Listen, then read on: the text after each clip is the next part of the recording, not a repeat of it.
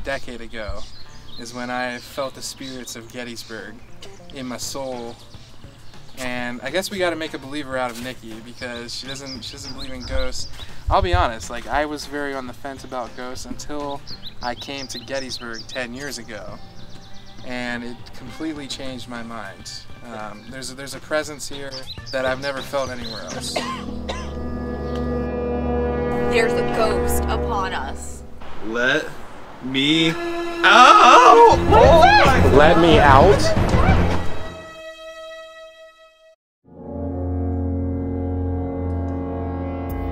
We're here at Artillery Ridge Campground in Gettysburg, Pennsylvania. It's the closest campground to the National Battlefield Park. Um, so we're going to get a, hopefully a sense of the atmosphere that maybe the soldiers would have been um, experiencing.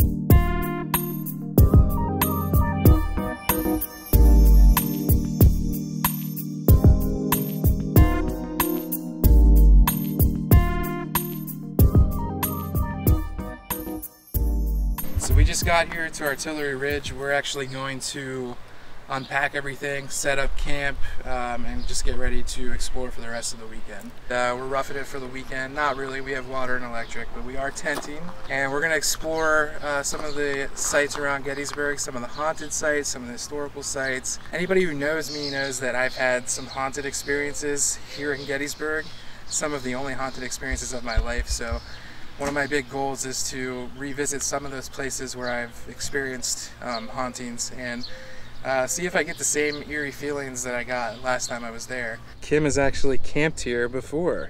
I have. How was your experience? It was good. Stayed here at night. We went into town. We took a ghost tour. Went to Dairy Queen. Got a little dinner cooking. You can see it's getting starting to get a little dark. Nice blue skies. It's calling for possibly a little bit of rain um, this weekend. We think we're gonna get hit a little bit. I'm working on cooking the perfect sausage right now. How's the food? It's good. Trying out a new tent, so we'll let you know how that goes. You remember last time I was in a tent when it rained, I got pretty wet. so we're here with Thad and Nikki. You remember Thad from season one in several episodes. That is a lover of Gettysburg. Uh, I like the history. There's a lot of big historical feel, feel in downtown and around town. A lot of reenactment, a lot of actors and actresses and people doing uh, live role play type stuff. I think that's a lot of fun to watch. I just love history, so I like the history of this place, and um, I like the small town feel, but still uh, lots of stuff to do. A decade ago is when I felt the spirits of Gettysburg in my soul. And I guess we got to make a believer out of Nikki because she doesn't she doesn't believe in ghosts. I'll be honest, like I was very on the fence about ghosts until I came to Gettysburg 10 years ago, and it completely changed my mind. Um, there's a, there's a presence here that I've never felt anywhere else. So we've loaded ghost hunting apps on our phones. Nikki and I are going to have them on together. And so, one thing that some of the ghost hunting shows have are spirit boxes or word boxes where some sort of words come through. To test ours, we're both going to have them playing at the same time while we're at the same locations. And that way, if the same message comes through at the same time, we know 100% this is real.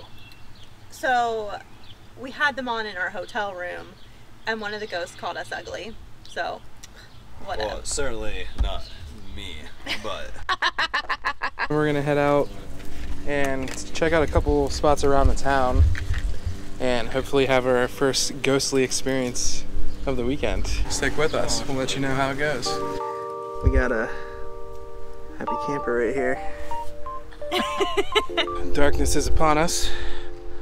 You know what that means in Gettysburg, Pennsylvania. The ghosties are coming out to play. The what, Nikki? The ghosties? They coming out to play?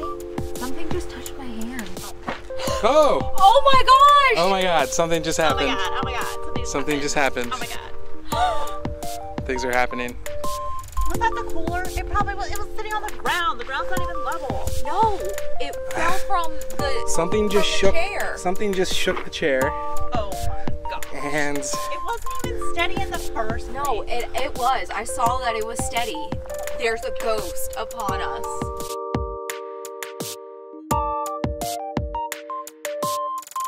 Thad claims this is the oldest ice machine in the world. Definitely in this town. I ain't afraid of no ghosts. To Winebrenner Run we go. So here we are. We're leaving the Colton. We're gonna head downtown to the first of our stops for the night. Sat in that chair right there at the window last year. Glorious. Dobbin House is haunted. They did take wounded soldiers in there during the war, and there were so many wound- wounded soldiers and so much blood piling up that they drilled holes into the corners to let the blood drain out.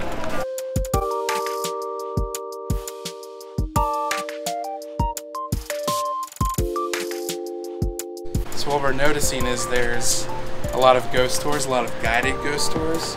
Um, we're doing, we're taking a different approach. Uh, Thad's done a lot of the legwork. He loves this place. He knows where we're going. We're actually kind of mixing in with a lot of the planned ghost tours here. Um, not by really choice or design. It just happens that way. They're always here. It's year round, um, and we're visiting the same spot. So, just an idea. I mean, you don't have to go pay for a tour guide There's ghost tours going on around us for this one company. So we're trying to hit this location at Winebrenner Run while they are also trying to alternate to that location as well. We are in downtown Gettysburg on our way to Winebrenner Run. We out here right now. It's a beautiful night, last night of May. Summer's here. So this is Winebrenner Run.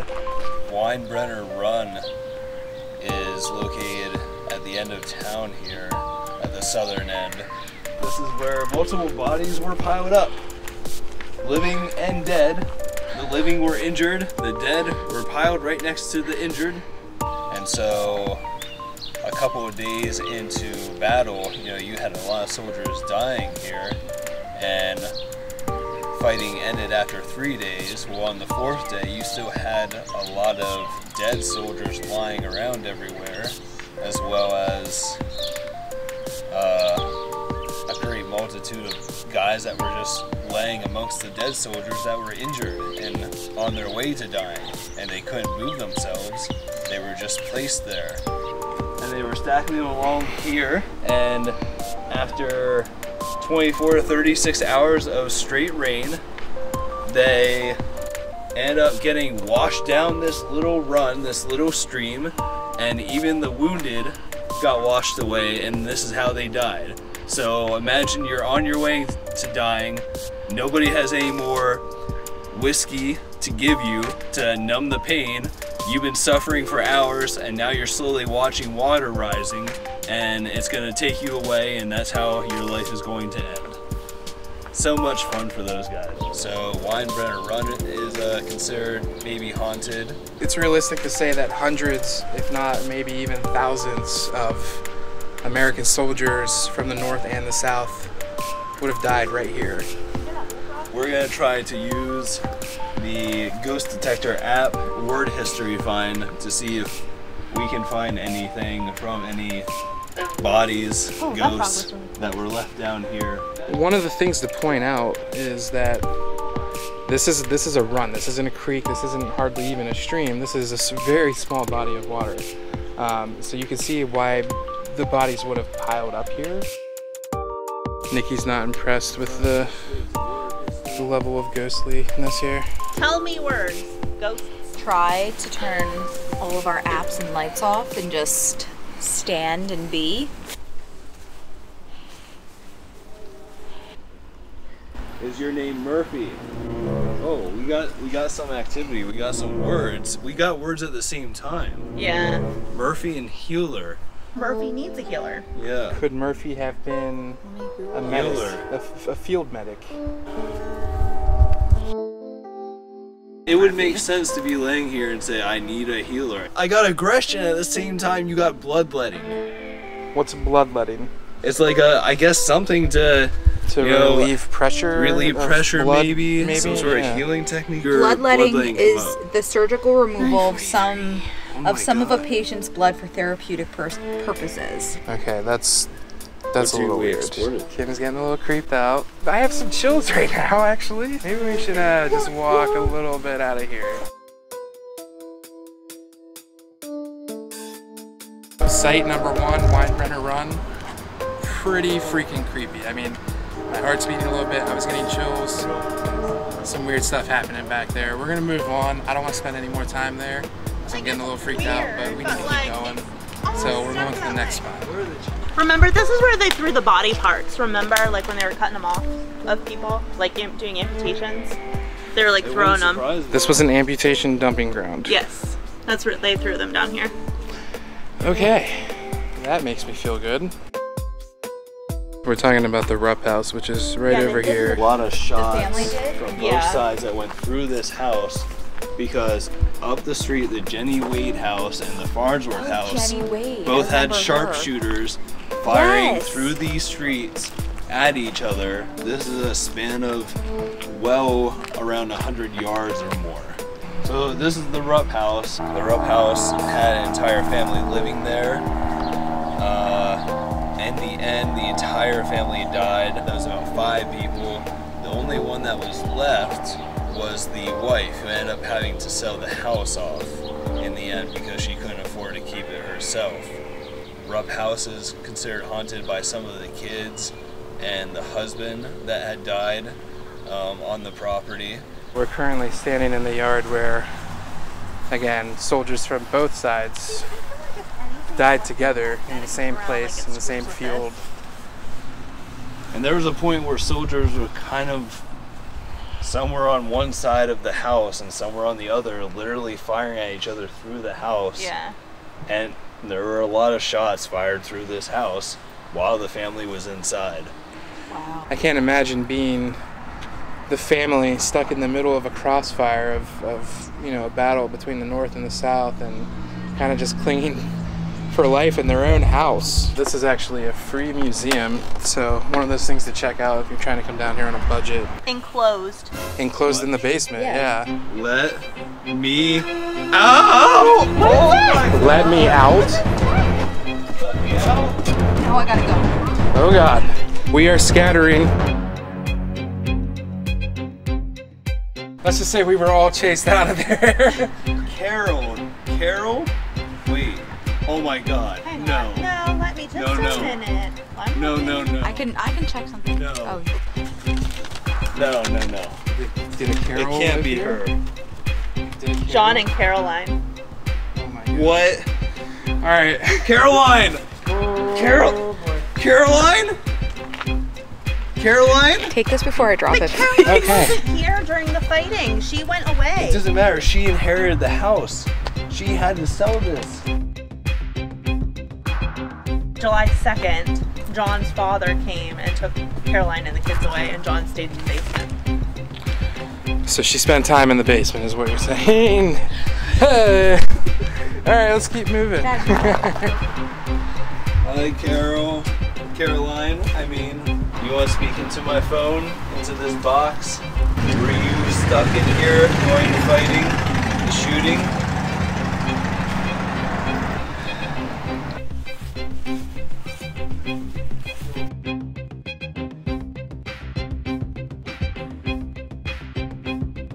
So we didn't get any hits from the second um, trip down in the basement, but the first one was plenty enough to get my blood pumping. First two locations, two creepy experiences so far.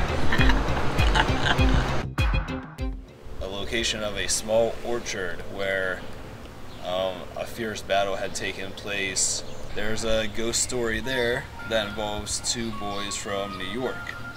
And so that would be kind of cool to explore that area. And the school district, I think, actually has possession of that property now.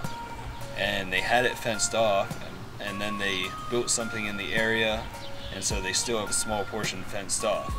So we can walk near it, not necessarily go into it, unless we want to make an illegal run, hop over the fence, and You can't See what happens. That. Well, there's not going to be any help I'm, from me. This is hypothetical. I'm not saying anybody's going to do it. This was the location of a small orchard that had a very intense battle between the Union and Confederate soldiers. The Union soldiers were positioned a little bit further up this hill. The ghost story to this is that there were two brothers out in New York. One grew up, he was very strong, and their father had died at a young age. So the oldest boy was like this strong boy, strong farmhand boy, and they were a New York uh, division that volunteered for the war. The younger brother was always sickly growing up, always uh, needed care. His mom was always caring for him, and he, she made her older son promise to take care of the younger son during the war and to have him come home. So during this battle here, the older son was killed during the battle, and then shortly after, the younger son was wounded.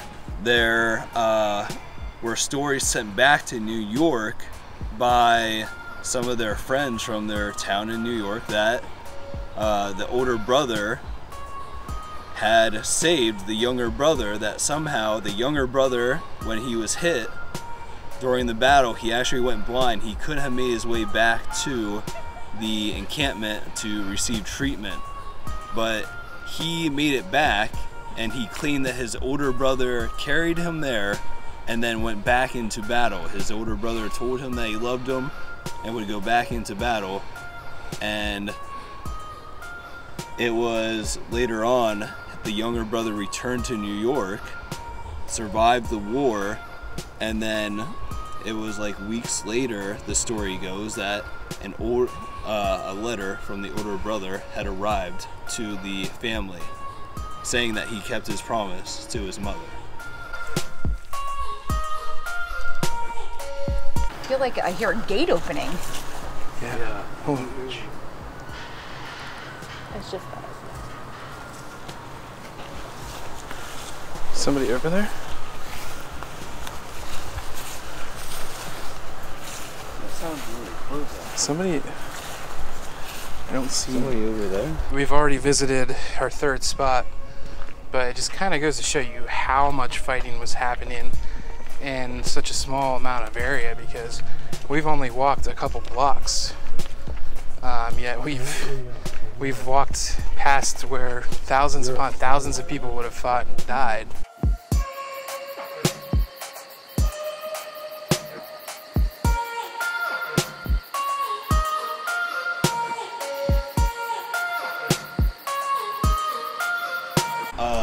Supposedly a very angry spirit that does reside in the Farnsworth, and they keep it secret. So, in terms of them keeping that secret, I do believe that there probably is something dark in some part of that house. The guide that we had briefly mentioned a very angry spirit. He wouldn't say the spirit's name.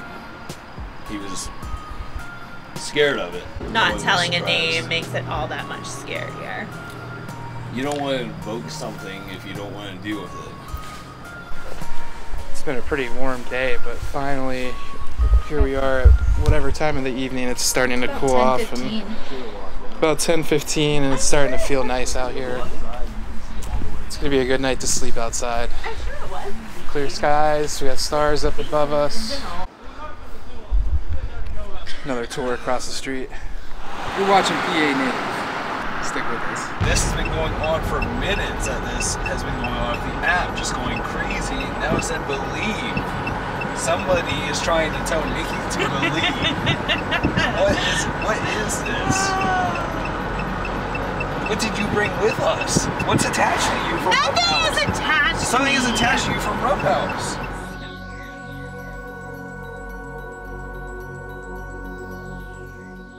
Needless to say, our first night in Gettysburg gave us plenty to think about and plenty to be scared of.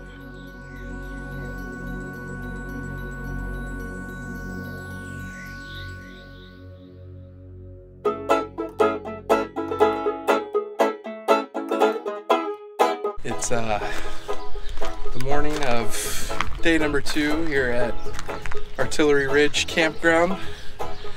We are just a stone's throw from the National Battlefield Park down here, and uh, we'll be spending some more time there uh, this evening into the night, uh, visiting a few spots that we think may potentially produce some of those uh, spiritual experiences like we had last night. Nikki had this dream last night, and my primary concern is that maybe Nikki now has a ghostly attachment. We were just at the Rupp house. I was there, but like my body was not there. I don't know how to explain it. There was a lady who was like tall and very like gaunt looking. She is like walking from the back of the Rupp house into that yard, the side yard beside the house. And uh, the whole time she's walking from the back of the house, she's just smiling at me. And she has a bag. She's carrying a bag and she's wearing like a night robe. And her hair is just a mess. She looks like a crazy person. And so, and this whole time she's just like has a smile on her face and she's carrying this bag. And she stops in the middle of the yard and drops to her knees and starts digging in the yard with her hands. And I woke up. Maybe it was Carol. Caroline. So what do you guys say? Are we ready to go to Gettysburg National Battlefield Park? Rock and roll.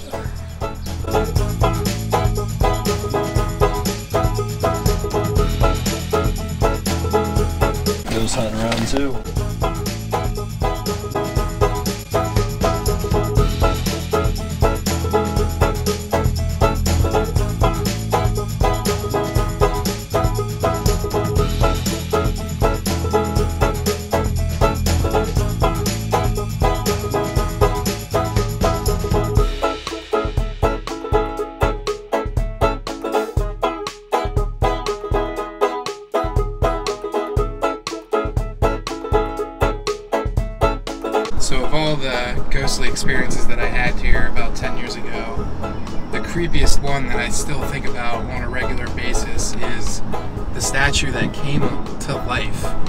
We were driving through the battlefield park here, just like we are now, but a little bit later. It was dark, and we come around a corner, and I'm looking at this statue, and the eyes start following me, and I'm like, kind of, you know, is, is that real? so I turn around as we're passing the statue, and the statue has turned around and continued to look at me. That was the same night that we had um, some experiences at Devil's Den and also Little Round Top. So these are the places that we're going to revisit today and see if anything similar to what happened 10 years ago will happen again.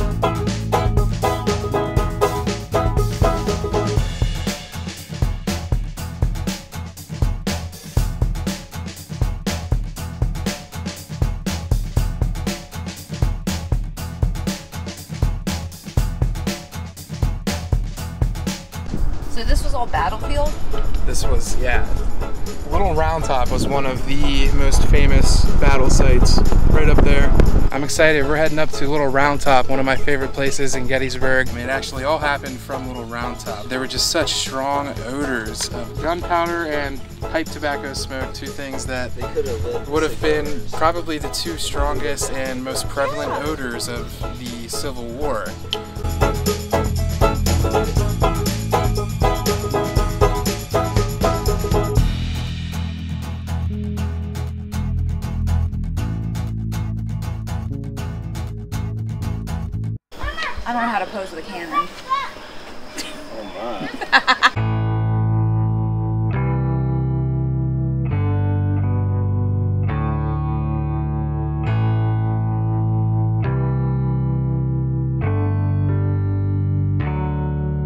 Two ghost stories that I guess are associated with this location. Um, there are about 1,500 wounded or dead here on Little Round Top when the battle had taken place, and Southern scouts, Confederate scouts, had seen this location, went to go tell larger divisions, and then by the time they returned back, they had lost this vantage point because the Union moved on top of it. And during the battle, the 20th Maine Division was on its way to aid here at Little Round Top and probably helped with the victory. And they got lost down here in the woods. and it is said that George Washington's ghost guided them to Little Round Top for this victory. In 1993, they were shooting a film here about Gettysburg and the Civil War, and some of the extras weren't working at the time during the summer, so they had taken shade, taken cover up here, and a Union soldier appeared to them and said, These are for you, and dropped musket rounds into each person's hand and then disappeared through the woods. And they had taken the musket rounds to the prop manager, and the prop manager said, These aren't for me. I didn't send anybody to give you these. And then they carbon dated the musket rounds, which were from the Civil War era.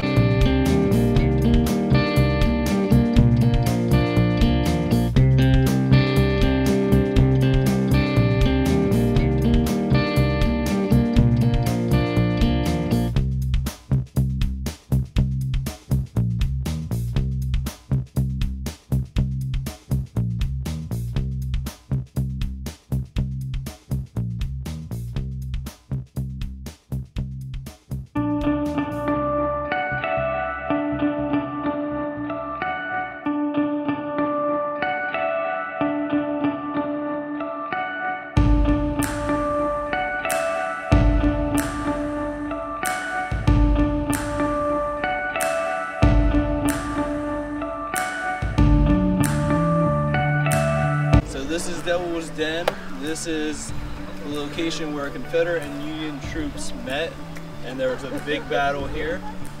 Uh, about 2,500 wounded or died at this location. You can see this run is right here as well. This is another location where the sick and dead were piled up, and when the flooding occurred, they all washed away. This is a location where the Confederate Army actually had a major victory. They actually won at this location. Uh, the Ghost, most commonly known here for people to see, is a ghost from a Texas regiment. They were ragtag guys. A lot of their clothes were ripped and falling apart. They barely wore shoes. Some of them wore no shoes and walked around. And so this ghost is known to appear to people and kind of point in a direction and say, the way that you seek is there. And so he's pointing something out to people that visit this location. So we're here at Devil's Den. This is another place where I experienced some ghostly activity 10 years ago. Um, you can see right over there on that side, little round top. While I was up there, you have a really nice view of Devil's Den. From Little Round Top, you can see Devil's Den. In Devil's Den, from far away, I could see eyes. I could see little light lights, like little like eyes lit up within the caves of the rocks of Devil's Den. So. animals living in there. Um, it could have been a pack of animals, or it could have been spirits. When was this? I mean, it's it's throwing it back. 2009, probably. But since that night, 10 years ago, I've kind of wondered, what was I seeing in Devil's Den from up there at Little Round Top? What were those eyes? Are there animals living in here, or are there spirits living in here? I don't know. Where are you guys at? Thad. Nikki? the ghost got him! Nikki! Well, Thad and Nikki were supposed to meet us at the top of Devil's Den. We got here. They aren't here.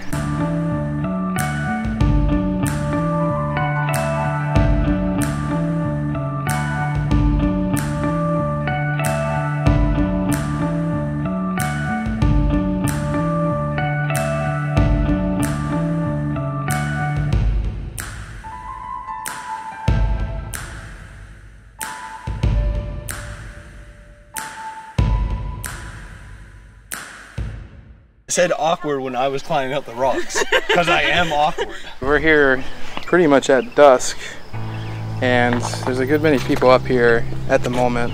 Not really sure what, what the best time of day is if you want, you know, try to get pure seclusion up here. It's up until 10 p.m. But if you come before dark, be assured that you're going to run into people. Um, but there is some parking here. Even when we got here, with the amount of people that are here, we were able to find parking.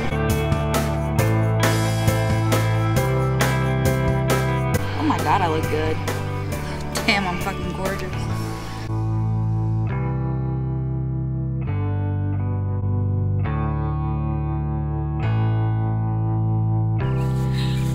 Was that the coolest thing? They have hiking paths and stuff built throughout the rocks that you can actually run through. You can be like Kim and jump and take Instagram photos. Like just about everyone here is here to take photos for social media. A lot like we were doing at Ricketts Glen, to be quite honest. Whatever gets people out into nature and experiencing things, whether it's just going out to get pictures for Facebook and Instagram, as long as people are out here and getting even a piece of the story or like some of the essence of what actually happened here and the purpose that this even exists and why it's a national park. Um, don't forget that those are the most important things of why this is here and why you're coming out here. Haunted spots I revisited weren't quite as scary as they were 10 years ago, but the views were still incredible. And the new haunted spots I did see left me with the same impression as when I came here. Gettysburg is a special place, and you can feel it everywhere you go. Whether it's the ghosts or just the immense history of the place, well, I'll leave that up to you to decide.